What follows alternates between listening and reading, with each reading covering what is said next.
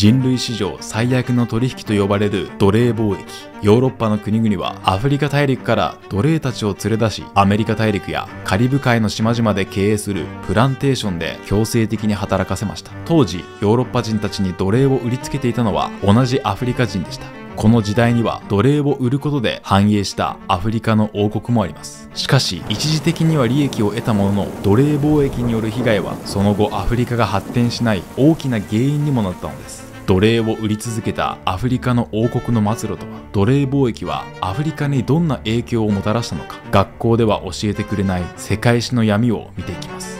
どうも皆さんこんにちは。原カンタ。です。人類史上最悪の取引とも呼ばれた大西洋奴隷貿易。近年の研究によって奴隷貿易はアフリカに甚大な悪影響をもたらしたことが判明しています。今回の動画では奴隷を売り続けたアフリカの王国の歴史。さらには奴隷貿易が現代のアフリカにまで与えている影響を見ていきます。ぜひ最後までご覧ください。今から500年以上前の15世紀、ヨーロッパの国々が海を越えて新しい世界を探し求めた大航海時代が始まります。この時代、ポルトガルを先頭にヨーロッパの探検家たちがアフリカ大陸に到達し、現地の人々との交易を始めました。アフリカとヨーロッパが出会った当初、両者の関係はお互いに利益を分け合うものでした。ヨーロッパからは金属製品や武器がアフリカに運ばれ、アフリカからは金や象牙などがヨーロッパに送られていました。この時点ではヨーロッパによるアフリカの搾取といった構造ではなくある程度公平な取引が行われていたのです。しかし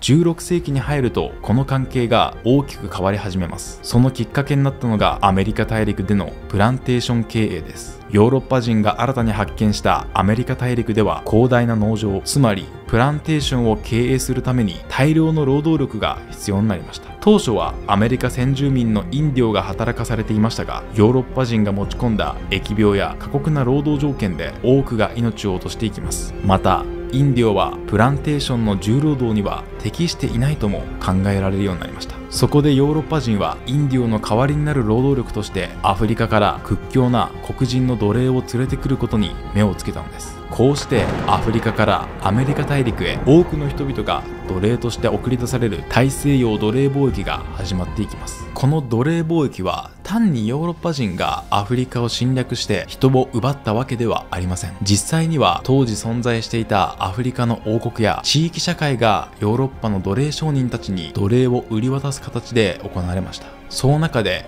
ポルトガルとアフリカ中部にあったコンゴ王国の例は奴隷貿易がアフリカ社会にどのような影響を与えたかを理解する上で重要です。コンゴ王国の事例を見ていきましょう。ポルトガル人は15世紀末アフリカ中部を流れるコンゴ川に到達し当時その下流域にあったコンゴ王国と接触しました。500年以上前のアフリカと聞くと原始的な生活を想像する方もいるかもしれません。しかしコンゴ王国はそのイメージとは大きく異なる高度な統治機構を持っていました。今後王国には総督や裁判官警察の長官報道官などが存在し州ごとに知事が配置されて税を管理するなどヨーロッパの国々に劣らない中央集権的な仕組みが整っていたのです。そのため訪れたポルトガル人たちはヨーロッパの国にいた組織的な王国だと驚いたと言われています。1506年に即位したアフォンソ1世はヨーロッパの教育を受けポルトガル語も話す教養豊かな王様でした。彼は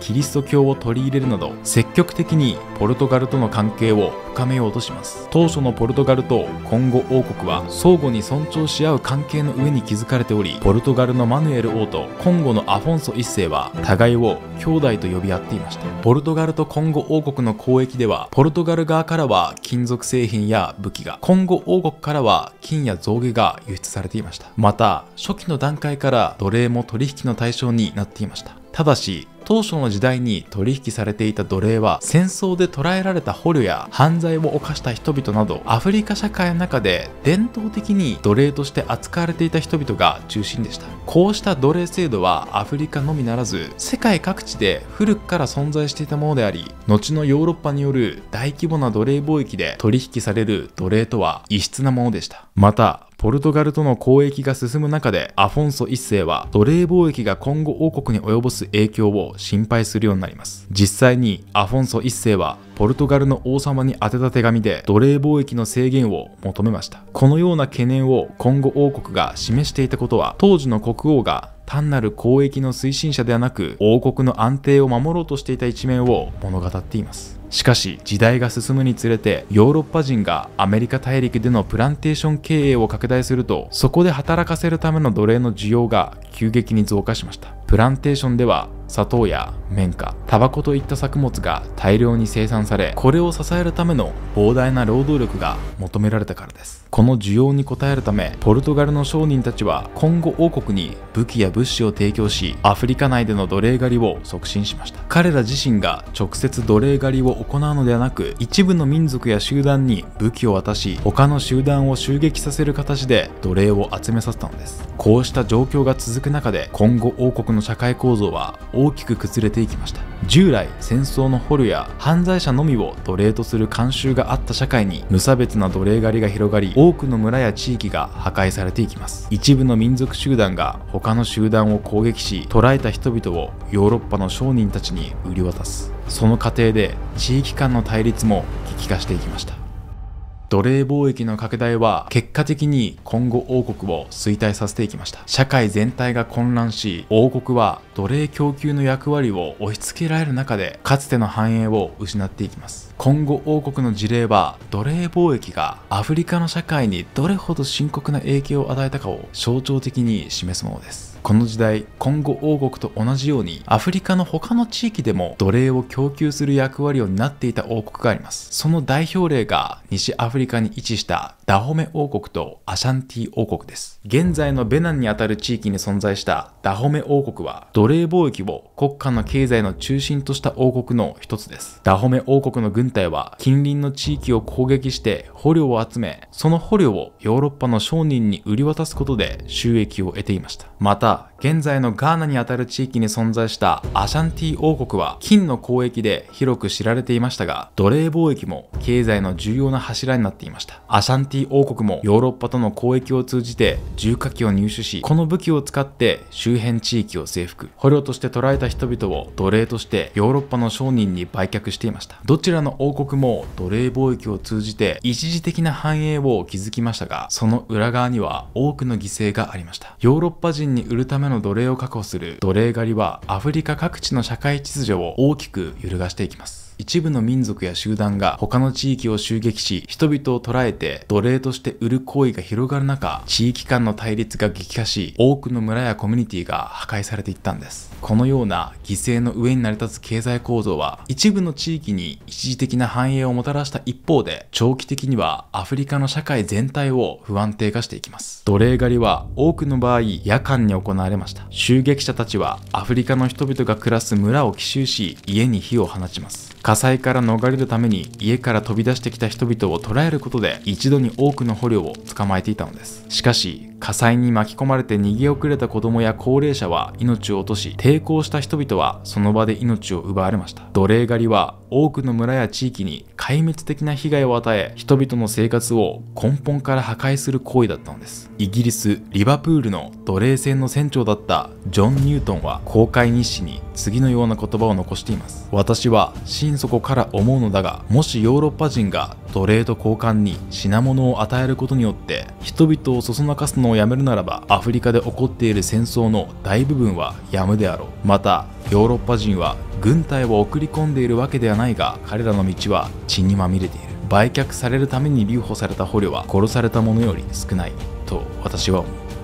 一説では一人の奴隷を捕まえる過程でその10倍に当たる人々が命を失ったと言われています。奴隷貿易の時代アフリカ大陸から推計でおよそ1200万人が奴隷として連れ出されました。この数字に基づくと奴隷貿易に関連して1億人以上が命を落とした可能性も指摘されています。これは18世紀初頭の推定世界人口約6億人のうち5分の1に相当する規模です。奴隷貿易が人類史においていかに深刻な犠牲をもたらしたかがわかります。これだけ大規模な出来事が起きていたのであれば自然とこのような問いが浮かび上がってきます。奴隷貿易はアフリカの社会にどんな影響をもたらしたのか。そのような難問に取り組んだのが奴隷貿易がアフリカに及ぼした長期的な影響に関する研究で第一人者として知られるハーバード大学のネイサン・ナン教授です。ネイサン・ナン教授は統計分析を使い奴隷貿易とアフリカ各地域の経済動向にはどのような関係があるのか明らかにしました。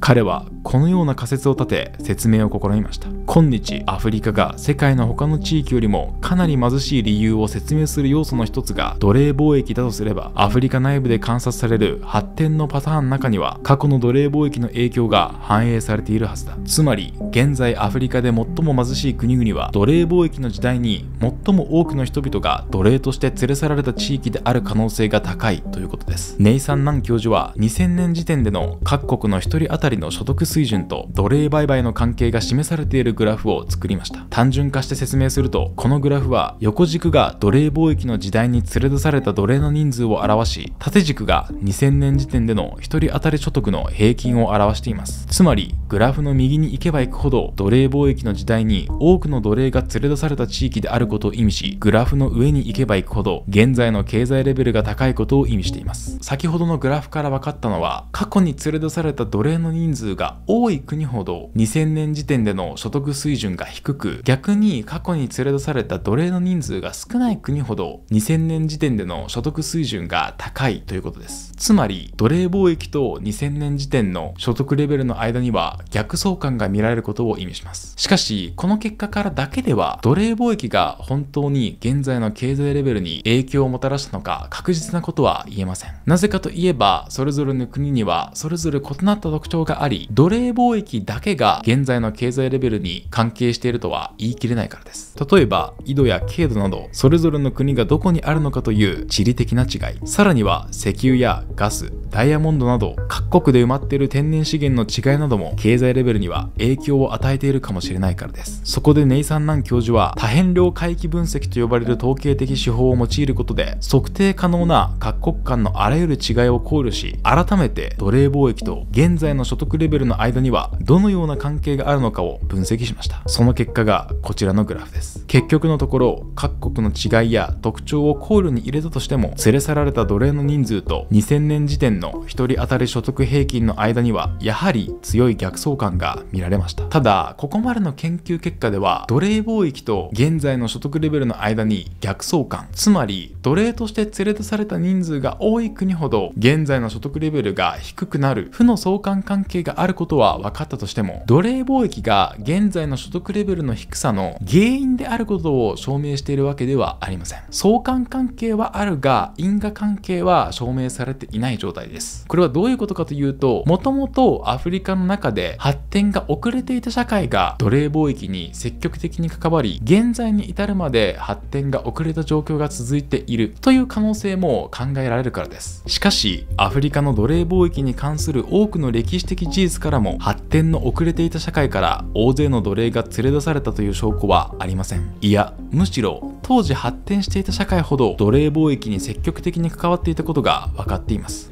例えば先ほども出てきたコンゴ王国は奴隷貿易に積極的に関わりましたが当時から高度な社会の仕組みが整えられておりアフリカの中では最も発展した国の一つでした。ネイサン・ナン教授は統計的手法からも当時発展していたアフリカの社会ほど奴隷貿易に積極的に関わったことを証明しようとします。当時のアフリカ社会では発展すればするほどそれは人口密度の増加という形で現れました。そのためネイサン・ナン教授は1400年時時点の人口密度から測定された初期の繁栄度と連れ去られた奴隷の人数の関係を調べることにしたのです。その結果がこちらのグラフです。こちらのグラフからは初期の人口密度言い換えると当時の繁栄度と連れ去られた奴隷の人数の間には性の関係が成り立っていることが分かります。つまりもともと繁栄して人口密度も高かった国は後に最も多くの奴隷を送り出している傾向が強いことが分かったのです。奴隷貿易が最も盛んに行われていたのはもともと発展していた地域だったということが歴史的事実からも統計分析的にも判明しました。この動画で全ての研究結果について説明することはできませんがネイサン・ナン教授はその他のあらゆる酵素も考慮しなネイサン・ナン教授はその他のあらゆる要素も考慮しながら徹底的に分析を行いました。最終的に様々な分析結果から奴隷貿易はその後のアフリカの経済発展に悪影響を及ぼしたという因果関係を明らかにしたんです。つまり奴隷がたくさん連れ出された地域ほどその後経済発展しなかったということを証明しました。では奴隷貿易はどのようにアフリカの発展に影響を及ぼしたのか。様々な理由がありますが奴隷貿易の時代に人々の間に分断が生み出されたことが大きく関係しています。奴隷狩りはある村が別の村を襲撃する形で行われていました。このような形で奴隷の調達が行われるとそれまでは交易をしたり同盟を結成したりと何らかの結びつきがあった村同士の間にも亀裂が走るようになります。ある一つの共同体の中でも対立が生じると一部の人間が奴隷として売り飛ばされる。そんなことも起きていました。中には友達だと思っていた人間から騙され奴隷として売り飛ばされるといった事例も起きていたようです。特に大西洋奴隷貿易の時代ヨーーロッパ人が外から持ち込んだ仕組みによってアフリカの社会は不安定になります。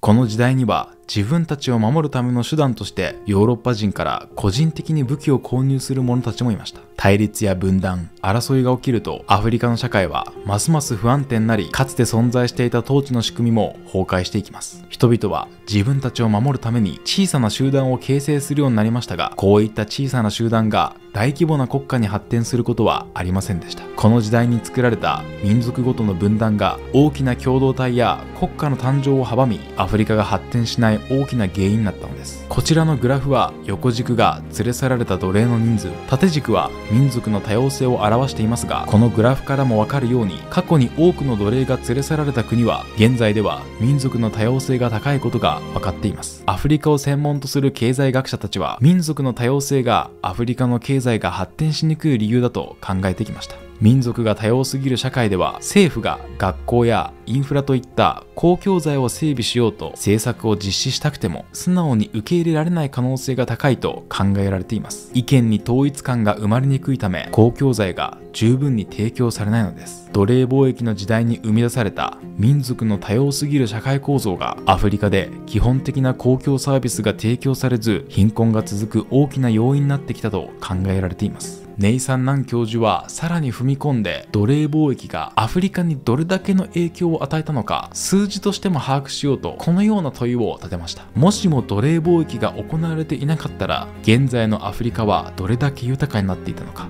この問いについて研究した結果とんでもないことが判明しました。その内容を紹介する前にお知らせを挟ませてください。私、原カンタは世界を無視しない大人になるためにという本を自費出版しています。私自身がアフリカでの活動を始めた原体験について書いた一冊です。興味のある方はぜひ概要欄のリンクや動画下のショップからお買い求めください。全国各地で社会問題に向き合うために必要な姿勢についての講演会を行っています。国際協力や社会貢献をテーマに原カンタの講演会にご関心のある企業や教育機関の皆様、少しでも興味がございましたら概要欄のリンクからお気軽にお問い合わせください。2000年時点におけるアフリカの典型的な人物の年収は1834ドル。現在のレートで日本円に換算すると約27万円です。アフリカを除いたその他の発展途上国の1人当たり所得平均が4868ドル。日本円で約73万円だったため、アフリカとアフリカ以外の途上国の間には大きな経済的格差があります。しかし、ネイサン・ナン教授の計算によればもし仮に奴隷貿易が行われていなかった場合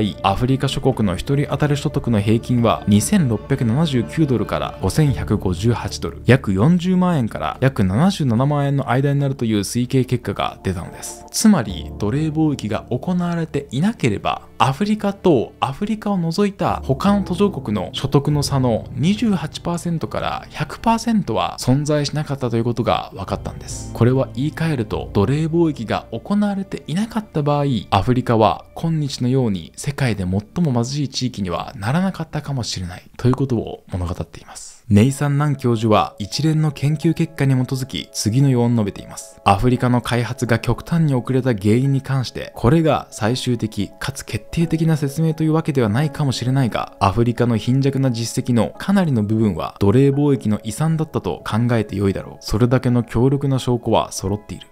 近年の研究から奴隷貿易という歴史がアフリカに取り返しのつかない悪影響をもたらしたことが明らかになっています。これは単に人々を奪われたというだけではなく地域社会を破壊し経済や文化の基盤を根本から揺るがしたからです。しかしアフリカがヨーロッパに翻弄されたのは奴隷貿易だけではありません。その後の植民地時代には国境線が恣意的に引かれたり民族間の対立が生み出されたりしたことでその後の紛争の原因となる分断が生み出されました。こういった歴史を正しく理解し向き合うことでアフリカに対する見方が大きく変わるのではないでしょうか。奴隷貿易や植民地支配が残した影響を知ることは過去を学ぶだけではなく現在の世界情勢を読み解く手がかりになるはずです。